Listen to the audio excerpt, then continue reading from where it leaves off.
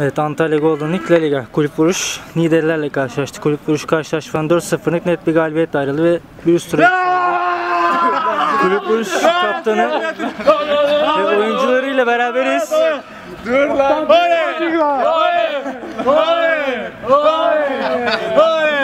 Bitti bitti yendik. Kaptandan bir yorum alalım.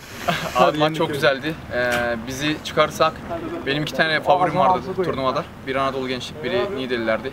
Nidelilerle erken final yaptık. Yani yıllarca zaten bu turnuvada kendini kanıtlamış bir takımdı. İlker Kaptanı Cafer'e, Yara'ya, Ulaş'a hepsinin ayaklarına sağlık. Çok kaliteli takımlar. Bu maçı yenen, yani Nideliler bizi yenseydi benim favorim Nideliler Anadolu Gençlik maçını kazanan olurdu. Yolumuza devam edeceğiz. Diğer favorimle yarı finalde oynayacağız. Bize burada 3 maç sonra ligden çekilir diyenler oldu. An itibariyle Golden League'de bu sene e, 2010 açılış sezonunun ik- 2019 açılış sezonunun e, en iyi 4 takımdan biriyiz. Yani yarı finale kalan 4 takımdan biriyiz. 3 hafta sonra ligden çekilir diyenler oldu. E, yaklaşık bir 25-26 maç oldu. E, rakibin ayağına sağlık. Sert maç oldu. Final havasındaydı. Bir anda koptu. Erken bir gol bulduk. Genellikle erken golü biz yiyorduk.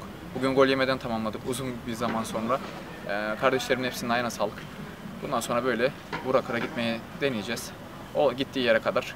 Eskisi kadar hırslı mıyız? Eskisi kadar hırslı değiliz. Eskiden maç kazanmak için şey yapıyorduk. Şimdi dost kazanmak için oynuyoruz bu turnuvada. Hayırlısıyla bu yolun sonu şampiyonluk diyoruz abi. Tüm takımlara başarılar diyorum. Geriye kalan 4 takıma Samura, Gençmen'e, Anadolu Gençliğe. Bakalım bu kadar abi. Söyleyecekleriniz. Teşekkür ederiz. Ayağınıza sağlık.